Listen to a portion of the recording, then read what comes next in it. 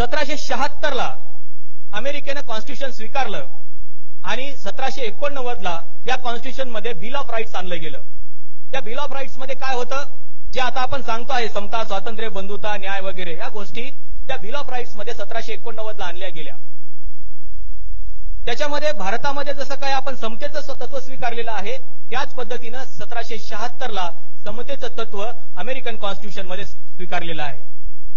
काय सांगितलेलं आहे? अमेरिकन कॉन्स्टिट्यूशनमध्ये समतेचं तत्व सांगत असताना all men are born equal with some natural rights सर्व माणसे जन्मापासून समान आहेत काही नैसर्गिक अधिकारासहित.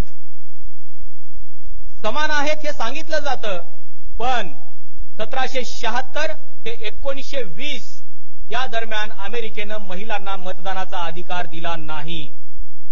कॉन्स्टिट्यूशन काय सांगतंय? All men are born equal बघा. All men are born equal सर्व माणसे जन्मापासून समान आहेत.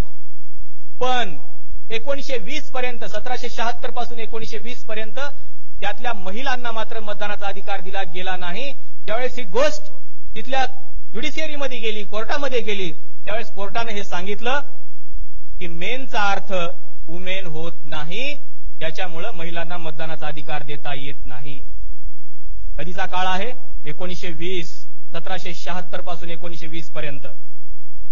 महिलांची प्रचंड मोठं आंदोलनं तिथं उभी झाली तेव्हा एकोणीशे वीस ला तिथं मतदानाचा अधिकार दिला गेला.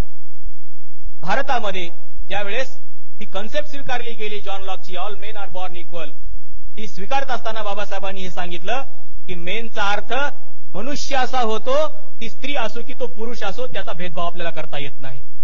आणि म्हणून एकोणीशे सत्तेचाळीस ला ज्यावेळेस हे कॉन्स्टिट्यूशन असेंब्ली भरवली गेली त्यावेळेस हे सांगितलं बाबासाहेबांनी आर्टिकल दोनशे तीनशे सव्वीसमध्ये की मतदानाचा अधिकार हे स्त्री आणि पुरुषांना सारखा असेल. भारतामध्ये एकोणीशे छत्तीस ला तुम्हाला माहिती आहे मतदानाचा अधिकार कोणाला होता? जे लोक टॅक्स भरतात त्यांना जे लोक जमीनदार आहेत त्यांना आणि जे लोक सुशिक्षित आहेत त्यांना. फक्त तिघांना मतदानाचा अधिकार या देशामध्ये होता. पण बाबासाहेबांनी असा भेदभाव केलेला नाही. बाबासाहेबांनी हे सांगितलं की असा भेदभाव आपल्याला करता येणार नाही. सगळ्यांनाच मतदानाचा अधिकार असला पाहिजे. म्हणून एकवीस वर्ष वय असलेल्या प्रत्येकाला नंतर त्याचं अमेंडमेंट झालं पंच्याऐंशीला आणि मग ते अठरा वर्ष झालं पण सरसकट मतदानाचा अधिकार दिला गेला. इथं स्त्री आणि पुरुषामध्ये सुशिक्षित आणि अशिक्षितामध्ये भेदभाव केला गेला नाही. खऱ्या अर्थानं समतेचं तत्व अमेरिकेनं स्वीकारलं का आपण स्वीकारलं?